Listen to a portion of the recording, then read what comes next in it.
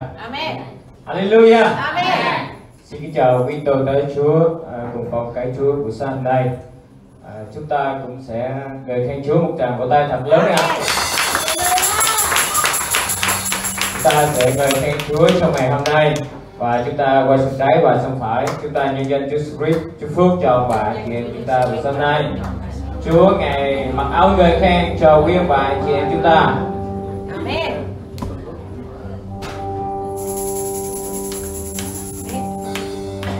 Amen. Amen. Chúa ngài mặc áo ngợi khen cho quý vị trong buổi sáng nay. Hãy lớn tiếng ngợi khen Ngài và chào Chúa thánh linh buổi sáng này. Hãy đưa cái tay quý vị lên nghe tiếng này. Hãy chào Chúa thánh linh buổi sáng này. Chúa ơi, chúng con ngợi khen Ngài. Chúng con thờ của Ngài. Chúng con tìm kiếm Ngài buổi sáng này. Quý vị ngợi khen Ngài. Chúa ơi, buổi sáng này. Hallelujah. Hãy đưa cái tay quý vị lên nghe tiếng người này. Hướng nào về Ngài. Hallelujah. Chúa ơi, thánh linh ơi, chúng con chào Chúa ngày buổi sáng này. Hallelujah. Hallelujah. Ơi Kính Chúa ơi, con chào Chúa. Hallelujah. Hãy Kính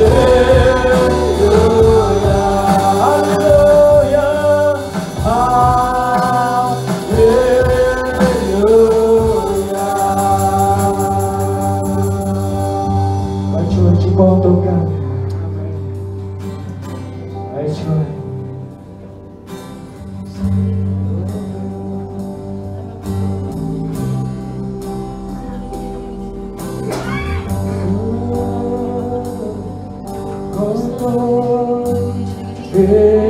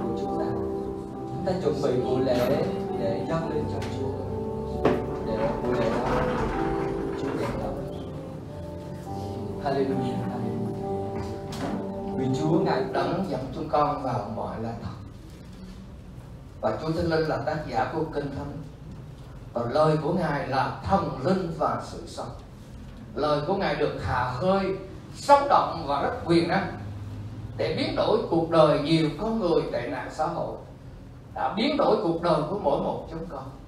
Và xin Chúa cho chúng con thật sự đầy dẫy lời của Đức Chúa Trời. Để chúng con dư dật mọi điều khôn ngoan. Và qua sự khôn ngoan mà Chúa ban cho, chúng con cái hành động và làm những việc có ích lợi cho xã hội, cho đất nước này, và cho toàn thế giới nữa. Chúng con tạ ơn ngài vô cùng. Nguyện thánh linh dẫn dắt chúng con. Nguyện thánh linh cho chúng con được thấu hiểu được lời của đức chúa trời. Và chúng con cần phải hành động qua lời ngài con cảm ơn chúa. Chúng con hết lòng và cầu nguyện. Trong danh của chúa giêsu christ. Amen. Gia cơ đoạn 2 từ câu 14 đến câu 26 thì nói như thế này. Thưa anh chị em nếu có ai bảo mình có đức tin nhưng không hành động thì có ích gì không? Đức tin ấy cứu người đó được không? Nếu gặp anh chị em nào đó thiếu cơm ăn áo mặc mà có người bảo chúc anh chị bình an, cứ mặc cho ấm ăn cho no nhé. Nhưng không cung ứng cho họ nhu cầu thể xác thì có ích lợi gì?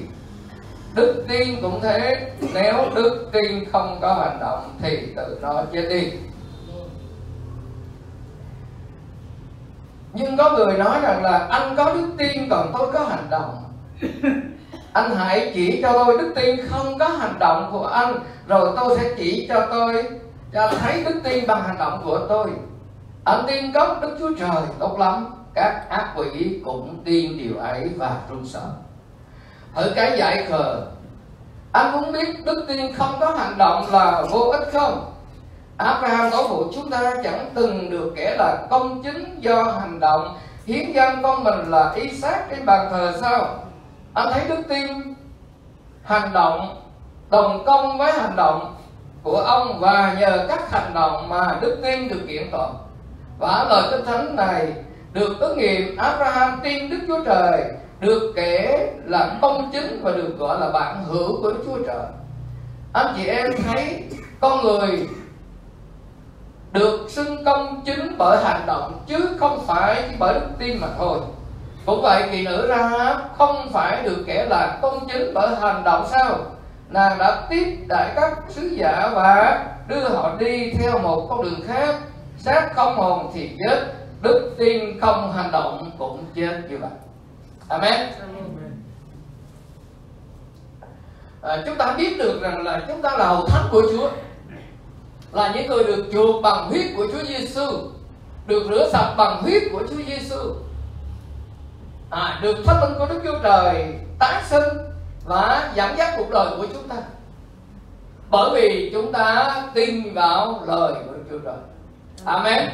Nếu chúng ta là không tin vào thập tự giá Chúa Giêsu chết cho chúng ta thì chúng ta không thể được xóa sạch tội lỗi được xưng công chính và trở nên con của Đức Chúa Trời được. Mà nếu chúng ta không tin rằng là thánh linh của Đức Chúa Trời là đấng đầy dẫy trong đời sống chúng ta, chiếm hữu chúng ta và chúng ta mặc lấy quyền năng để làm chứng nhân cho Ngài thì chúng ta không phải như ngày hôm nay. À, bởi vì chúng ta tin chúng ta nhận. Amen. Chúa nói là không có đức tin thì không thể sống đẹp lòng được Chúa Trời. Amen. Không có đức tin không thể sống đẹp lòng được Chúa Trời. Và người công chính thì sao? Sống bởi đức tin. Amen. Ngày hôm nay chúng ta không phải sống bởi mắt thấy. Những gì chúng ta thấy thế này thế kia.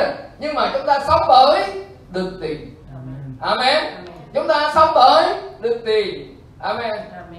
Ví dụ ví dụ như là vĩnh thiên đang bị tai nạn đó mắt của mình thấy thế này và thế kia đó. Nhưng mà là bởi đức tin. Nếu sống bởi đức tin thì sao? Phép lạ nó xảy ra. Amen. Phép lạ nó xảy ra. Đời sống chúng ta không phải bởi mắt thấy. Chúng ta thấy hoàn cảnh của chúng ta bây giờ nghèo khổ không có tiền nhưng mà bởi đức tin chúng ta giàu amen. Amen. À, là sống bởi đức tin chứ không phải bởi mắt thấy nữa. À, anh chị em đừng nhìn hoàn cảnh của mình. Nhưng mà hãy tin vào lời Đức Chúa Trời đã hứa cho mình như thế nào. Chúng ta là hả? Người công chính của Đức Chúa Trời. Và chúng ta là người thánh của Đức Chúa Trời. Chúng ta là con của Đức Chúa Trời. Amen. Amen. thì như vậy thì chúng ta sẽ thừa hưởng cơ nghiệp của Đức Chúa Trời bởi đức tin là chìa khóa để chúng ta mở cửa thiên đàng đổ xuống. Bởi đức tin chúng ta nhận kho báu của Đức Chúa Trời. Bởi đức tin chúng ta nhận tất cả mọi sự. Amen. Bởi đức tin. Amen. Amen. ở đây nói rằng là thưa anh chị em nếu ai bảo rằng mình có đức tin nhưng không có hành động thì có ích gì không? Đức tin chúng ta tin có đức chúa trời chúng ta tin vào lời của đức chúa trời nhưng mà chúng ta không hành động thì không có ích gì hết. Amen. Amen. à, không có ích gì hết. Rồi chúa có nói rằng là đức tin mà không hành động thì sao? Thì có ích lợi gì? À, đức tin mà không hành động thì có ích gì không? À, đức tin không hành động thì cũng chẳng có ích lợi gì mà đức tin mà không hành động thì sao? Thì chết. Amen. Amen. bởi vì lý do chúng ta hành động nên phép lạ mới xảy ra. Amen. Chúng ta hành động thì phép lạ mới xảy ra. Đời sống chúng ta ngày hôm nay chúng ta nhớ lại hai câu chuyện mà Chúa Giêsu kể. Hai câu chuyện gì không ạ Chúa nói rằng trong đời Eli ba năm rưỡi đói kém đó. Có nhiều người đàn bà quá đói kém, nhưng mà không ai được cứu cả. Nhưng mà người đàn bà quá Sarepta được cứu. Bởi vì bà hành động, đức tin và hành động. Dù con miếng bánh nhỏ thôi, sẵn sàng dâng cho tiên tri trước hết. Bởi đức tin và bà hành động theo lời tiên tri Eli đã bảo bà. Amen. Thì gia đình của bà được cứu mà hơn nữa là tiếp đãi một tiên tri suốt mấy năm liền. Amen Amen. cảm ơn chúa. Rồi trong thời kỳ Elise, điều gì xảy ra? Có rất là nhiều người phun mà chẳng ai được cứu. Nhưng mà có ai được cứu? Ai là người được cứu? Chỉ có Na mang người Syria được cứu, chứ không phải là người Israel.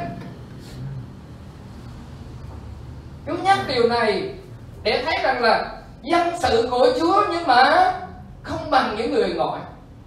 Họ được cứu bởi đức tin, bởi vì họ hành động. Nhưng mà những người công dân của Israel là người của Đức Chúa Trời, nhưng mà không ai được cứu. Rất là nhiều người phun nhưng mà chỉ có Na mang người Syria được cứu bởi vì ông đã khăn gói. Nghe Israel có một tiên tri của Đức Chúa Trời, nghe đứa gái đó. Tiên tri đã chữa lành cho quan, thì khăn gói từ Syria đi qua Israel. Lúc đầu thì sao? Ông rất là giận dữ khi tiên tri không có không có ra đón mình, để làm theo ý của mình. Nhưng mà, sai đầy tớ ra, ông chẳng dữ nhưng mà sau đó những đầy tớ của ông nói nhắc lại. Chủ ơi nếu mà tiên tri nói việc khó không phải là một gì nó việc quá dễ mà. Mấy, mấy anh đầy tớ này lần sờ qua đâu không à? à quá dễ xuống sông tắm bảy lần thì để được chữa lành thì quá dễ mà sao chủ không làm? Và ông vâng lời và ông đã xuống sông tắm bảy lần và ông được chữa lành. Amen. Amen. đức tin mà không hành động thì người đàn bà quá Sarepta cũng chết. Naaman vẫn tiếp tục bị hung không bao giờ được chữa lành. Nhưng mà bởi vì họ hành động nên họ được chữa lành. Amen. Chúng ta buổi sáng nay chúng ta không có thể có đức tin. Chúng ta nghe lời của Đức Chúa Trời. Làm chúng ta được 50 phần trăm rồi. Nhưng mà về nhà không làm. Thì nó mất đi cả 50 phần trăm kia nữa. Amen. Nhưng mà nếu về nhà chúng ta làm thì sao? Thì đức tin kiện toàn có nghĩa là đức tin nó tròn vẹn trăm phần trăm luôn. Amen. Nên ngày hôm nay chúng ta là những người trưởng thành, chúng ta là hiểu biết và chúng ta đã nhận nhiều cái phép lạ nó xảy ra trong cuộc đời của chúng ta rồi.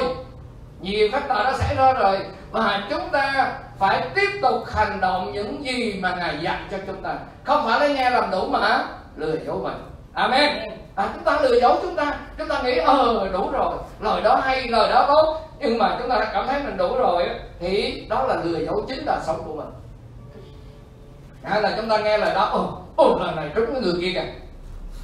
À, người kia mà thực hành là tuyệt vời. Nhưng mà mình thì sao? Mình không cần nữa mình đủ rồi. Như vậy thì đức tin không có việc làm thì chết chẳng ích gì hết chẳng cứu được chính đời sống của mình. Amen. À, và có hai loại đức tin ở đây. Đó là một loại đức tin có hành động mà một loại đức tin không có hành động. À, hai loại đức tin chúng ta sẽ đứng vào phía nào?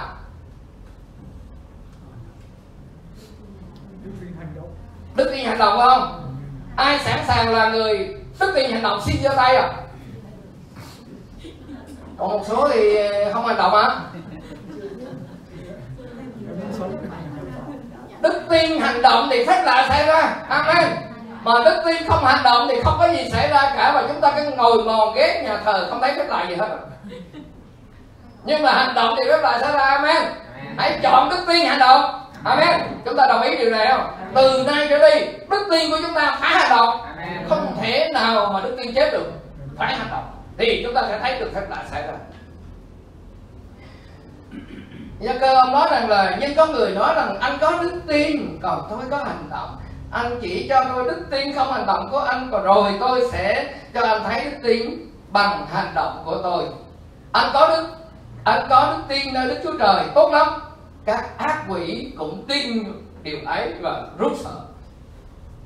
Có nhiều người nói tôi tin đức chúa trời mà tôi tin đức chúa trời tôi tin đức chúa trời. Có đức chúa trời thật sự mà. Nhưng mà tác giả nói rằng là ma quỷ cũng tin và run sợ. Ma quỷ nó biết rõ mà có đức chúa trời. Bởi vì thiên sứ của đức chúa trời ra từ đức chúa trời phải không? Ngài tạo dựng nó thiên sứ mà.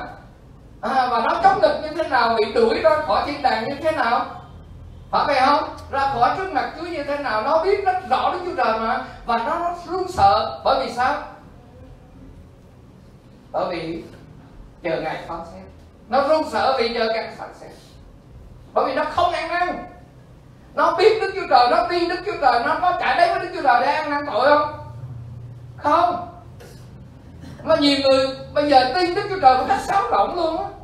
Tôi tin đức chúa trời có đức chúa trời nhưng mà mọi việc là tôi làm là tôi làm theo ý của tôi thôi. Còn không không có liên quan gì với đức chúa trời cả. Như vậy tin đức chúa trời đó là sái động không? Phạm tội có ăn năn với đức chúa trời không? Phạm tội có nhờ lời chúa để thay đổi không?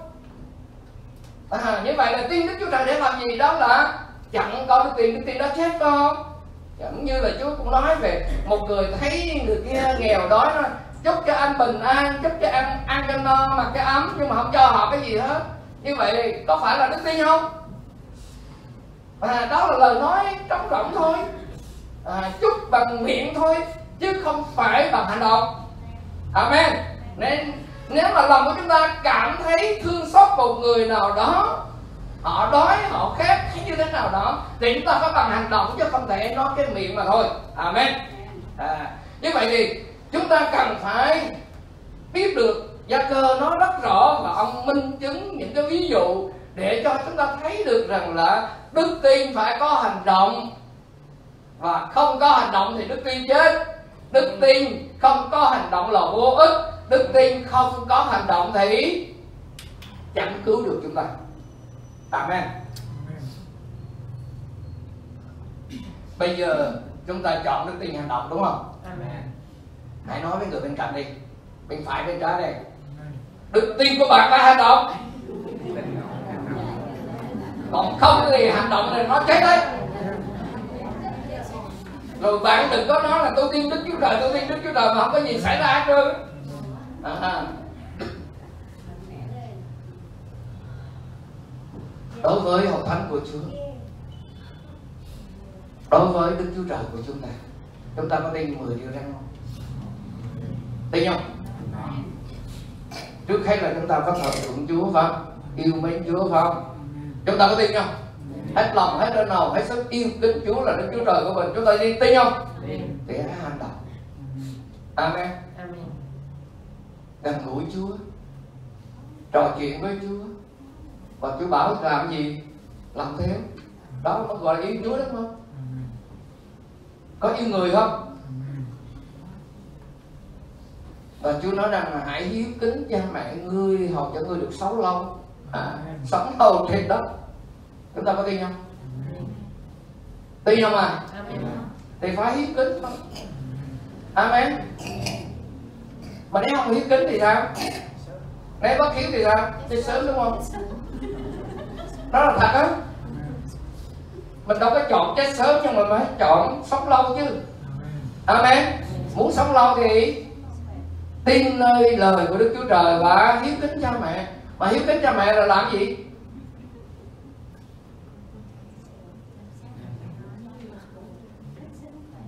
Mình phải làm gì? Mình phải hành động chứ nó tôi là người hiếu kính cha mẹ số một. Nhưng mà không có giúp đỡ cha mẹ cái gì hết. Làm khổ cha mẹ như vậy thì có phải hiếu kính không? Như vậy thì hiếu kính cha mẹ mình phải làm thế nào cho cha mẹ mình vui? Amen. À, lúc đau ốm bệnh tật hay lúc này lúc kia mình phải hiếu kính. Mình phải giúp đỡ mình săn sóc mình sẵn sàng. Còn phần của cha mẹ như thế nào á thì cái việc đó của chúa. Amen. Bởi vì cấp trên mình là mình không có xử được. Amen. À, ví dụ như là họ thắng ờ, vâng lời chúa phải thuận phục người lãnh đạo thì người lãnh đạo như thế nào thì chúa xử chứ đâu phải họ thắng xử đâu. Phải vậy không? À, nên mình đâu có dám đụng đến người sức giàu phải không? David không dám đụng đến người sức giàu nên là chúng ta phải hiểu cái trật tự. Phải hiểu cái trật tự đó. Chứ không phải rằng là hậu thánh của chúng ta muốn điều hành một xứ. Hay là muốn điều hành cha mẹ của mình cấp trên của mình. Không phải như vậy. Chúng ta cần phải có trật tự phải hiểu được cái trật tự đó ý quyền và sự thuận phục chúng ta học nhiều rồi. Amen. À như vậy thì khi chúng ta bất hiếu với cha mẹ thì sao?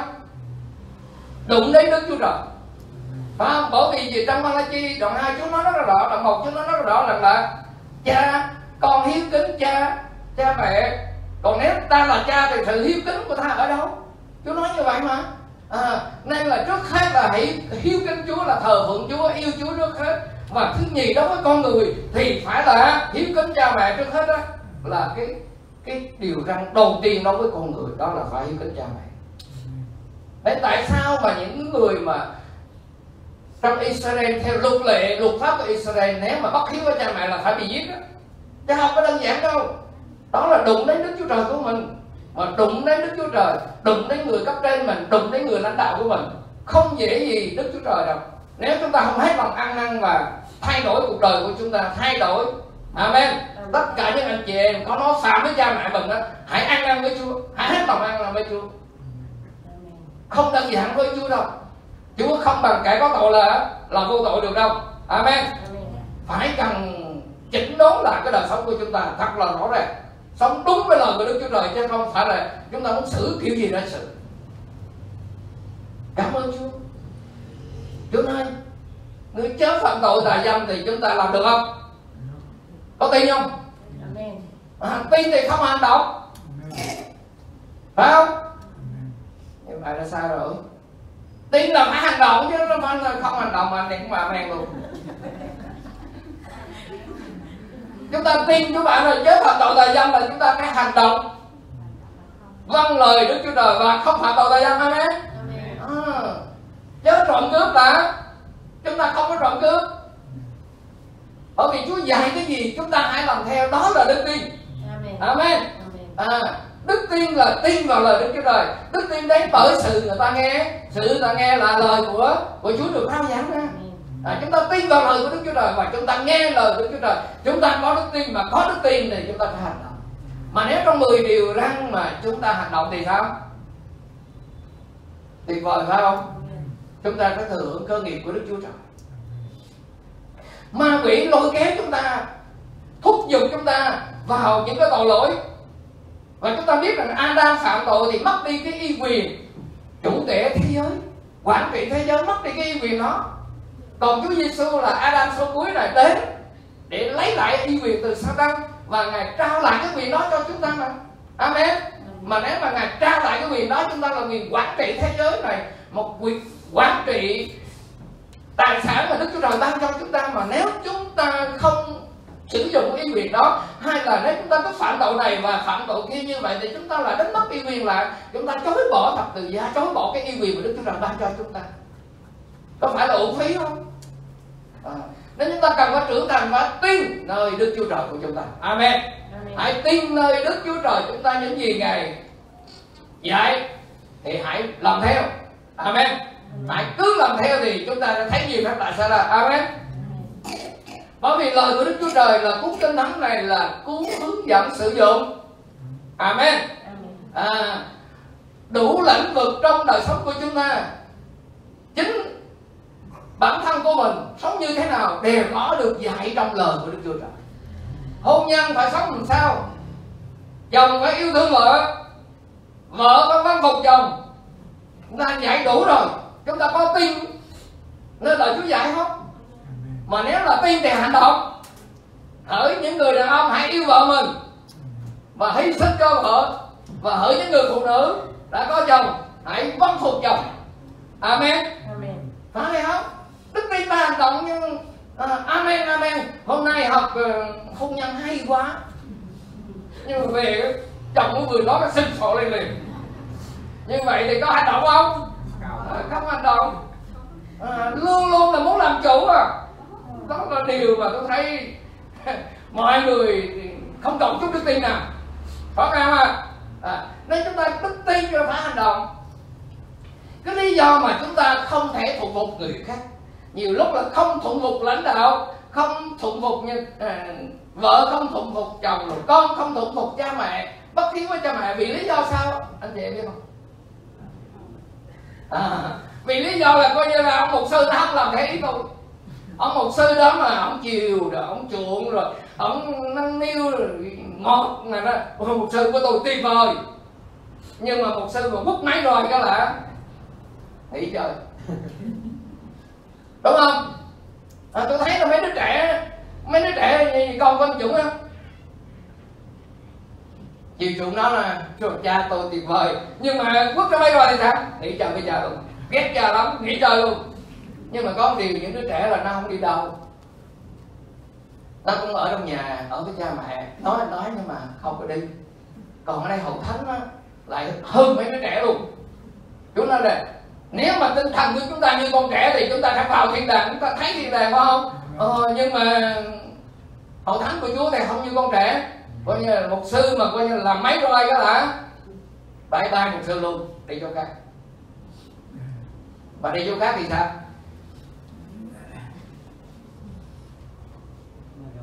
Đi chỗ khác thì chiên mà ra khỏi bầy thì chúng ta biết rồi. Ra khỏi cái sự chăm sóc, ra khỏi cái sự che phủ rất là nguy hiểm. Tại sao hậu thánh của chúa ngày hôm nay có nhiều cặp đôi ly dị rất là nhiều hội thánh, tôi qua bên mỹ, cả hai những mục sư cũng ly dị nữa đau lòng vô cùng. Tại sao vậy? Ở vì vợ không theo ý tôi, còn người vợ đó là hai người không có hiệp một với nhau được, không có đồng ý với nhau được. Tôi nói, mỗi người mỗi ý, làm sao mà đồng ý với nhau được? Nữ thì khác, nam thì khác hả? Phải không? Nhưng mà chúng ta thụ thuộc chưa chúng ta cùng một hướng đi. Chúng ta cùng phục vụ chúa. À, chúng ta theo cái mục đích đó. Chứ còn bây giờ nữ khác nam khác mà làm sao mà nó là chúng tôi ra tòa cái thì nói chúng tôi không không gì? Không hợp. Không hợp nhau. Nó sao mà hợp được. Đó là điều. Bởi vì cái người nào cũng muốn lãnh đạo người khác không à. Muốn người khác phải làm theo ý mình thì mới amen còn không làm theo ý mình là không hợp. Vợ mà coi như là không làm theo ý chồng nên tôi không hợp với ổng rồi. Ổng thấy thế này thế kia vấn cái gì? Nó nói là cái điều, chúng ta nhớ rằng là qua Chúa cứu thế Giêsu, cái ý riêng cái tôi của mình đã hạ xuống rồi. Amen. Bây giờ tôi phải làm theo ý Chúa và chồng của tôi làm theo ý Chúa. Amen. Chứ không phải là bảo chồng phải làm theo ý tôi, bảo vợ làm theo ý tôi. Tất cả phải làm theo ý Chúa cha mẹ cũng phải làm theo ý Chúa mà con cái cũng phải làm theo ý Chúa. Đó là đức tin và hành động. Amen. Chứ không phải là, vì không hợp nên không chơi nữa.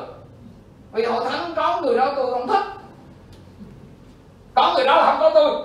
À, như vậy thì chẳng lẽ là không rẽ nhau ra liên tục? Nên nhiều hội thánh không biết rằng chiến thuộc linh ma quỷ làm xào xáo trong hội thánh của Chúa và làm cho hội thánh của Chúa phân rẽ chia năm sẻ bảy thật là đau lòng vô cùng. Nó chia sẻ từ hôn nhân gia đình của một sư cho đến họ thánh của Chúa. Rất là đau đớn. Tôi đi nhiều nơi, nhiều chỗ và tôi thấy rất là đau đớn. Nhưng mà cảm ơn Chúa, chúng ta phải là người đức tin và hành động. Amen. Phải tin và hành động theo lời của Đức Chúa Trời, chứ không phải tin và hành động theo ý của mình. Có những người tin chắc về mình đó giống như phi rơ còn đồng tù đồng chết với Chúa. Nhưng mà cuối cùng có giữ lợi không? Tin chắc lắm đó. tin vào bản thân của mình chắc chắn lắm đó. mà không tin vào lời của Chúa. Nhưng mà cuối cùng đâu có giữ lời đâu. Và đó là điều rất là tệ phải không ạ? Mà chúng ta nhớ điều đó. Nên là Chúa nói rằng ý tưởng của loài người là hư không. Amen. Ý tưởng loài người chỉ là hư không nhưng mà ý tưởng của Đức Chúa Trời là quyền năng. Amen. Đức Chúa Trời đã phán hứa thì Ngài có quyền làm trọn lời đó. Ngài là Đức Chúa Trời thành tiếng Nên chúng ta hãy tin cậy vào lời của Đức Chúa Trời. Tôi nói vào thánh của Chúa Chúng ta ở trong địa vị trong gia đình ở địa vị trong xã hội ở địa vị trong hội thánh như thế nào hãy tin cậy vào lời của Đức Chúa Trời và làm theo lời của Đức Chúa Trời. Đó là anh chị em tin Chúa và hành động theo lời của Ngài. Còn nếu mà chúng ta cứ theo Chúa suốt mấy chục năm rồi mà cứ làm theo đường riêng, ý riêng của chúng ta. Tôi nói là, cái lý do tại sao mà chúng ta làm theo ý riêng không? Tại sao chúng ta làm theo ý riêng biết không? Có nguyên nhân nào mà con người làm theo ý riêng của mình, lấy cái tôi của mình, cái khôn ngoan của mình làm chúa mình không? Bởi vì cái cây điều thiện và điều ác mà Adam đã ăn đó. Khi họ ăn xong cái cây điều thiện biết điều thiện điều ác này á, họ biết điều thiện, điều ác bằng được. chúa trong cái cây đồng ba nó rất rõ. Họ biết điều thiện, điều ác bằng đức chúa trời. Có nghĩa là đã biết điều thiện, điều ác bằng đức chúa trời rồi, khỏi chơi với đức chúa trời, nó không cần đức chúa trời nữa. Còn cái này lớn rồi, trưởng thành rồi, tôi phân biệt được rồi, tôi không cần cha. Và đó là điều rất là nguy hiểm cho con người.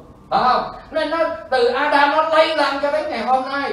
Ai nấy đều phải làm theo đường riêng, ý riêng của mình cho đến khi nó tệ quá rồi, xác thịt làm người làm cho loài người bại hoại rồi. Bây giờ chương trình của Đức Chúa Trời là Chúa cứ thấy Giêsu đã đến và con người đã tiếp nhận, trở thành hội thánh của Đức Chúa Trời dưới sự lãnh đạo của Thánh Linh Đức Chúa Trời rồi. Mà không làm theo ý Chúa. Cứ ý con đường lên à. Có phải vậy không? Cứ ý con đường lên thì làm sao mà mà là ý cha được nên được, làm sao mà thành công trong chức vụ đời sống của chúng ta? Ngày hôm nay tôi sống là sống trong đức tin của con Đức Chúa Trời. Ngài đã yêu tôi vì tôi Ngài đã chết thay cho tôi nên tôi sống. Không phải tôi sống nữa nhưng mà Chúa sống trong tôi. Amen, bây giờ là sống cho Chúa sống theo ý Chúa chứ không phải theo ý của chúng ta. Vì ý chúng ta đã bại bại lắm rồi. Có ai theo ý mình mà được thành công không? Trong hội thánh của Chúa chúng ta để ý. Theo ý mình được thành công. Không chức vụ chúng ta không thành công vào mọi điều. Đem cái sự đau khổ mà thôi. Xác thịt dẫn đến sự chết. Amen. Thánh tin dẫn đến sự sống và bình an. Đức chúa trời đã biết chúng ta rồi. Cái độc độc của cây điều thiện điều ác nó ở trong con người của chúng ta. Nên là ngài ban thánh linh đến để dẫn dắt chúng ta, dẫn vào mọi lá phật ôm ấp chúng ta từ khi trong lòng mẹ cho đến khi đầu râu tóc bạc ngài vẫn ẩm bọc chúng ta ngài muốn là lãnh đạo đời sống chúng ta nhắc nhở chúng ta. Bởi vì nếu không có ngài chúng ta phải thấy đi riêng thấy được riêng của mình thôi. Mà trong hội thánh chừng khoảng 50 người thôi thì mỗi người mỗi ý thì sao? Ai cũng muốn một sư làm ý mình hết thì, thì, thì chắc là một sư qua đời sớm luôn. Đúng không ạ? À, nhưng mà hội thánh có ý một sư amen. Bởi vì mục sư đại diện cho cho đức chúa trời. Để dạy dỗ lời đức chúa trời cho chúng ta. À, nên có một sư thì chúng ta được dạy dỗ có một sư thì chúng ta được tư vấn. À, những lúc mà hôn nhân thì cũng phải có một sư tư vấn rồi. Bất cứ làm cái gì thì cũng có một sư tư vấn và cầu nguyện cầu thai làm lễ đủ mọi điểm amen. À, đức chúa trời đã tạo dựng và kêu gọi đó là hãy giữ mình và luôn luôn cả bày mà đức thánh linh đó là anh em làm kẻ của sống amen. À, đức thánh linh là một sư làm kẻ coi sống thì chúng ta phải tôn trọng. Còn có điều gì sai trật chúng ta cần cầu nguyện cầu thai. Có thể tâm tình góp ý. Amen. Chứ không phải chúng ta điều chỉnh một sư cứ cầm cái remote cứ bấm như thế này bấm như thế kia để mà điều chỉnh một sư không phải như vậy nha. Amen. Chúng ta tin được đâu mà. À, đừng tin vào chính bản năng của mình như rơ đã thất bại thế thảm rồi. Bây giờ hãy tin vào lời đức chúa trời và hành động theo lời của đức chúa trời. Amen lâu nay thì chúng ta nhìn anh em mình không à? Phải không? Nhìn người này nhìn người kia. Ồ, nhìn, nhìn riết hồi người đó thật đẹp nhìn riết hồi thấy xấu. Nhìn nhìn hoài người này người kia nó quen mặt rồi có nhiều lúc không còn tôn trọng. Các hội thánh ở nhà thờ lớn các cha đó đó là họ đồ tôn trọng lắm nhưng mà một sư tư gia hình như là tín đồ nó ít tôn trọng bởi vì quen mặt quá gần gũi rồi uống cà phê rồi đủ chuyện ấy thành ra là nó quen quá hình như là ta quen cái tôn trọng rồi. Phải vậy không? À, chúng ta hãy cẩn thận hãy cẩn thận. Hãy tin cậy nơi Chúa. Nên là khi mà nhìn lâu nay anh chị em có cầu nguyện cho những người bên ngoài chúng ta có. Không ít hay là nhiều 50 50 rồi ồ 50 thì quá tuyệt có không ạ chúng ta nhớ nè. Đa số cầu nguyện cầu thai là cầu thai hậu thánh là nhiều. Đó không? rồi chúng ta nhìn nhau thì nhiều thấy nhau thì nhiều. Nhưng mà bây giờ chúng ta có đức tin nơi Chúa Giêsu rằng là hãy đi khắp thế gian giảm đi lành cho mọi người không? Tin không hành động bắt đầu từ Jerusalem đến xứ Jude xứ Samaria cho đến cùng trái đất Amen. Bởi vì ngày xưa tôi tin tôi tin Chúa kêu gọi tôi tôi tin Chúa thúc giục tôi nói với những người chưa biết Chúa. Nên tôi nói bất cứ lúc nào tôi cũng nói hết đến nỗi mà cái mấy anh em sao ôm ở dưới bà kể rồi bảo lộc là biết tôi hết á. Họ biết con lực sao không? Cái ông mà hay nhường khách cho người khác bởi vì sao? Tôi đã làm chứng cho người ai đó rồi, có khách sộp khách nhiều tiền nữa, tôi cho nó đi hết à cho người này chở cho ông gì kia chở, tôi làm thế nào để cứu được cái người đó? Nên tôi sẵn sàng cho người khác. Này, họ đó là ông lực là ông nhường khách, hay nhường khách. Là lý do vậy. Bởi vì tôi tôi yêu mấy những linh hồn tội nhân, tôi muốn cứu họ. Các bạn được. Nhưng mà rồi cuối cùng rồi nó đi hết rồi tới, tới mình nữa là Chúa cũng cho đầy trọn luôn cả ngày làm dù từ sáng cho đến chiều chưa có gì nhưng mà chút chiều tối thì cũng được. Phần đầy đủ cho cả ngày cảm ơn Chúa. Chúng ta tin cậy vào Đức Chúa Trời. Tôi tin vào Đức Chúa Trời nên tôi nói. Phaolô nói tôi tin tôi nói. Tôi biết đấng tôi đang tin. Amen. Amen. tôi tin tôi rao giảng. Tôi tin tôi hành động. Tôi tin tôi đi khắp nơi đi thế giới à, và tôi cũng tin rằng là đấng mà phán với tôi rằng là con sẽ gặp nhiều sự đau khổ đó. Phải không à, chú nói Phaolô rằng là người này sẽ chịu chịu nhiều đau khổ vì ta. Amen. Ông tin điều đó và ông gặp rất là nhiều đau khổ vì đánh đập bị tù đày bị đúng mọi thứ. Ông tin điều đó và ông đã nhìn thấy điều đó trên chính cuộc đời của mình. Và Chúa đã đấng ban phước cho ông. Amen. Cho đến cái giây phút cuối cùng vẫn giao dạng phước phần. Amen. À, đến đi thuyền đến La Mã bao nhiêu trận xem chết nhưng mà đi đến đâu rao giảng đến đó. Đi đến đâu rao giảng đến đến La Mã rao giảng đến La Mã. Những người do thái ở đó họ không nghe. Và ông vẫn cứ phản giảng. Amen. Nếu chúng ta tin bây giờ chúng ta hãy ôm ấp những người thân hữu của chúng ta. Những người thứ nhất là trong gia đình của chúng ta có không? Có những người chưa tin không? Có. Họ ghi ghi tên họ vào sổ vào cái tờ giấy để chúng ta cầu nguyện cho họ. Chúng ta cư mang họ. Và chúng ta nhớ rằng những người nữ, chúng ta biết rằng cư mang bao nhiêu tháng là sinh con? 9 tháng. 10 ngày phải không? Là sinh con đúng không? Mà nếu chúng ta cưu mang một linh hồn tội nhân thì chúng ta có sinh ra không? Chắc chắn nếu không cưu mang thì không sinh ra. Nhưng mà nếu nửa chừng chúng ta xảy thai luôn. Bởi vì cưu mang họ nửa chừng là chúng ta bỏ. Chưa được gì hết chúng ta bỏ là cũng như là xảy thai luôn phải không? Nên chúng ta cần phải cưu mang cần phải cầu nguyện cho họ. À, gọi điện thoại nói chuyện với họ có thể gặp gỡ nói chuyện với họ. Tình thân trước hết. Đời sống chúng ta chứng minh chúng ta có Chúa thật sự. Chứ mà họ nhìn thấy người đó họ lắc đầu đó cái, cái ông đó mà Chúa gì?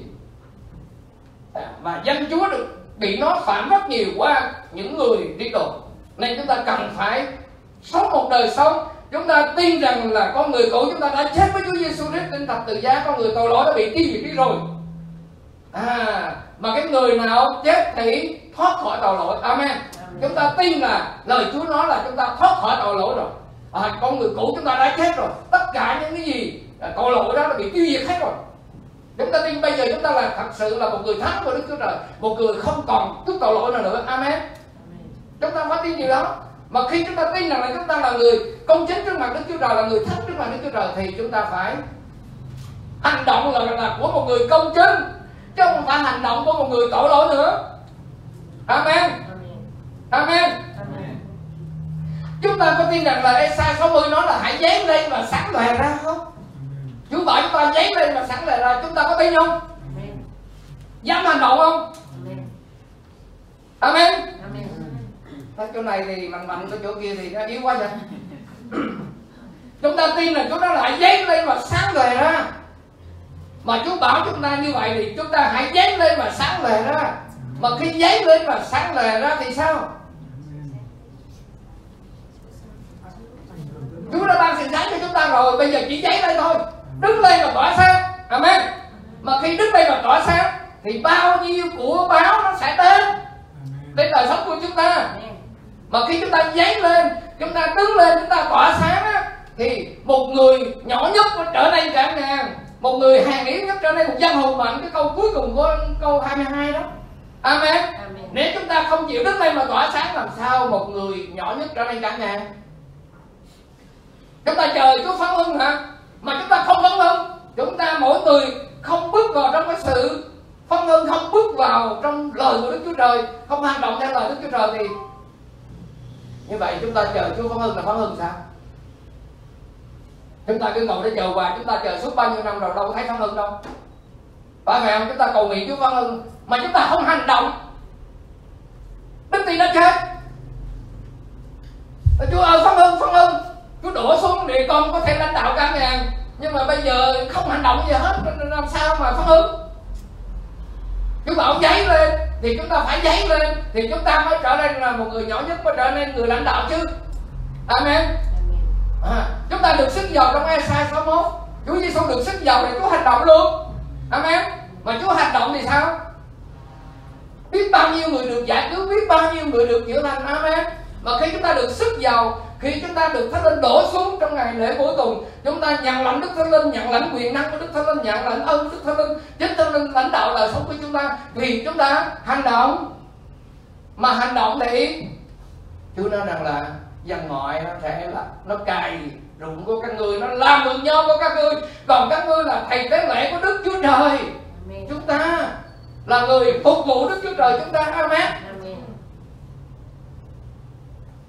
những bạn chị em muốn giàu có Nhiều người muốn giàu có nhưng nhiều, nhiều người thì không cần giàu có. Nhưng mà cái sự giàu có đó là qua sự phục vụ Đức Chúa Trời. Phải hành động. Chúa bảo chúng ta hành động, hãy hành động. Chúa bảo chúng ta nhân danh Chúa Giêsu đuổi quỷ. Chúa bảo chúng ta đặt tay đi cái đau cái đau sợ lần, Chúa bảo chúng ta nói tiếng mới. Thì nói tiếng mới. Nếu uống giống gì đâu có chẳng hay gì thì chúng ta hãy hành động còn nếu mà chúng ta không hành động thì sao? Đức tin đức tin nó không cứu chúng ta ví dụ như là cô thư bị bị bệnh ung thư. Mà cô thư không hành động thì sao? Có cứu được mình không không.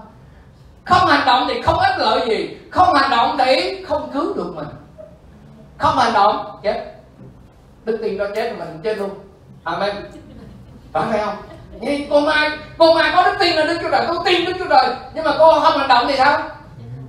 Thì chết ta không cứu được cô mà cũng không cứu được gia đình của cô, đúng không? Nhưng mà hành động bằng cách công bố, bằng cách nhân danh Chúa Giêsu ra lệnh. Amen. Hành động bằng đức tin. Tôi nhớ là ông già ông già Mỹ bác lý. Một cái người 75 tuổi rồi, quá tuyệt vời đi. Bị bại liệt là con cái nó canh chừng. Bác sĩ canh. Cháu bác sĩ nữa. Nhưng mà ông nắng ngán không thấy ai cái là ông thả người xuống giường. Rớt cái bịch xuống giường, cái tay cái tay còn khỏe là ông níu giường đứng lên ngã xuống. Nhân nhìn chui sụp đứng dậy. Ngã xuống. Nhân nhìn chui sụp đứng dậy. Đứng dậy được rồi diễn tường đi. Ngã. Nhân nhìn chui sụp đứng dậy diễn tường đi. Có mấy? Bao nhiêu ngày sau đó, đạp xe đạp từ từ từ điểm ngồi thánh tâm nó chạy vô thăm tôi. Wow! Hốt hoảng luôn. Ơn chúa một sư tôi được chữa lành tôi được chữa lành rồi. Đức tin mà không hành động thì không cứu được mình. Không ích lợi gì hết. Và đức tin ấy chết nằm một chỗ. Amen. Chúng ta phải hành động. Vừa rồi ờ, một sư y thái ờ, cha của ra ra chúng ta biết tiểu đường huyết áp cao tai biến nặng nhất trong hộ trong bệnh viện. Bác sĩ lắc đầu rồi. Nhưng mà Sarah có đức tin? Cầu nguyện. Và khi tôi giảng một cái bài cho nó, từ cổ trở xuống nó bại liệt nhưng mà cái đầu nó vẫn còn sống cái đầu nó vẫn nghĩ được cái cái miệng nó vẫn công bố được. Thì hãy công bố lời của Đức hãy công bố rằng trong danh Chúa Giêsu cái chân này phải nhúc nhích. Cái chân này cũng phải nhúc nhích. Tay chân phải hoạt động. Mà khi công bố như vậy là bằng đức tin bằng hành động. Rồi đứng dậy. Amen. Và cảm ơn Chúa bây giờ đi xe máy là bình thường hết. Tiểu đường mọi thứ huyết áp bình thường đó lại hết bại liệt biết hết amen. Không hành động thì không cứu được anh không hành động không cứu được chị đâu. Nhưng mà hành động thì phép lạ nó xảy ra hội thánh của chúng ta chúng ta biết được rất là nhiều điều. Anh chị em đấy được giải phóng ra khỏi bệnh tật. Giải phóng ra khỏi tiền chết. Không phải chết sớm không phải chết trước kỳ định nhưng mà phải chết trong kỳ. Amen. Amen. Phải nhất quyết là không chết trước kỳ định. Đừng để truyền đạo nó độc nhập vào đời sống của chúng ta là tại sao người chết trước kỳ định nha. Amen. Chúng ta phải bằng đức tin lời đức chúa trời. Bởi vì lời đức chúa trời là ta là giê hô đức chúa trời ngươi là đấng chữa lành cho ngươi. Amen. đấng chữa lành cho ngươi. À, hãy hô vì chúa đi. Rồi ta là đấng ban đồ ăn thức uống và chữa lành mọi bệnh tật trong nhà ngươi. Amen. Hãy tin và hành động. Hãy tin và hành động.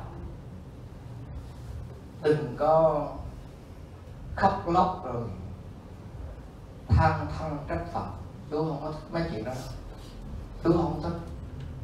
Chúa muốn chúng ta sống bởi đức tin đức tin là đẹp lòng của chúa trời và có nhiều hoàn cảnh nó có thể xảy ra trên cuộc đời của chúng ta chúng ta không có thích. Nhưng mà chúng ta sao?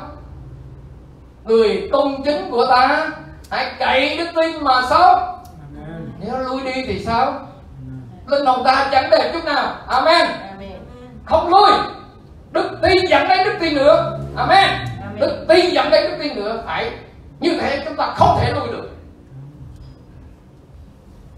cái ơn của Chúa ban cho chúng ta là lớn lao vô cùng. Thánh Linh ở với chúng ta. Mà chúng ta không nhúc nhích gì hết thì như vậy là sao? Đấng toàn năng đấng hay làm phép lạ đang ở trong chúng ta. Đầy ơn và lẽ thật đang ở trong chúng ta. Mà chúng ta sống như một người bình thường như thế gian này Là chúng ta bị thế gian đồng hóa rồi. Và coi chừng là, là thánh linh đi ra khỏi mà chúng ta không biết. Chúng ta cứ nghĩ rằng là tôi tin tôi tin tôi tin đức chúa trời hãy cần phục hồi lại. Hãy cưu mang những linh hồn tội nhân đi. Nếu hội thánh của Chúa một người cưu mang một người xin một năm thôi. Tôi nói là một năm thôi. Một người dẫn đến một người trong hội thánh của Chúa thì hội thánh của chúng ta là sang năm là sẽ gấp đôi Amen. amen. Amen chúng ta làm được không? Có đức tin không? Amen. hành động? Amen. Bây giờ chúng ta phải cưu mang những linh hồn tội nhân. Nói chung, chúng ta không bỏ hầu thánh không bỏ gia đình của chúng ta. Chúng ta cần phải làm, cần phải cầu nguyện, cầu thai. Nhưng mà bây giờ chúng ta phải, ít nhất là giống như chú điệp đó là 50 phần trăm cưu mang cho những linh hồn tội nhân. Bởi vì Chúa chọn chúng ta, Chúa đặt để chúng ta, Chúa sử dụng đời sống của chúng ta để cứu những linh hồn tội nhân mà. Amen à, hãy nhìn thấy những kẻ đang bị đùa đến sự chết. Chúng ta hãy cứu họ. Amen. Amen. chúng ta phải cứu họ. Đừng để cái câu chuyện Samari nhân lành nó nó xảy đến trên hội thánh của Chúa. Người của Chúa thầy tế lễ không quan tâm đến cái người mà đang nửa sống nửa chết nhưng mà người ngoại họ quan tâm đến. Hội thánh của Chúa dễ dàng đến cái chỗ đó. Và bây giờ ngày hôm nay nhiều hội thánh của Chúa thật sự không quan tâm đến những người nửa sống nửa chết nếu họ chết luôn rồi mất luôn lên hồn mà. Nửa sống nửa chết thì có thể còn cứu được. Phải không ạ? Còn cứu được. Nên chúng ta phải quan tâm đến những người đang bị đùa đến sự chết. Những người trong hội thánh, những người bên ngoài, ở hội thánh của Chúa. Chúng ta hãy cư mang. Ít nhất là 10 người. Chúng ta xem. Chúng ta xem lại trong gia đình của mình. Nếu chúng ta tính là nhiều lúc cũng cả chục người rồi ghi tên họ vào sổ ghi tên họ vào, vào tờ giấy và cầu nguyện cho họ. Kết bạn với họ giao thông với họ giữ một cái tinh thần rồi có dịp thì chúng ta phải dẫn họ đến cái buổi truyền giảng. Có dịp chúng ta nói lời Chúa cho họ. Có chứ không phải là chúng ta cái đụng đâu nói đó đụng đâu nói nó nói về đến nỗi họ thấy mình là chạy trốn luôn. Nhiều người phán rồi anh mà không tin Chúa là anh xuống địa ngục á. Ờ, phán kiểu đó là coi như là coi nhỏ thấy mình là né thấy mình là trốn rồi. Chúa dạy chúng ta cần phải kết bạn. Amen. À, làm thế nào chúng ta có nhiều bạn. Chúng ta toàn là bạn trong Chúa không bạn ở ngoài chúng ta bỏ trơn.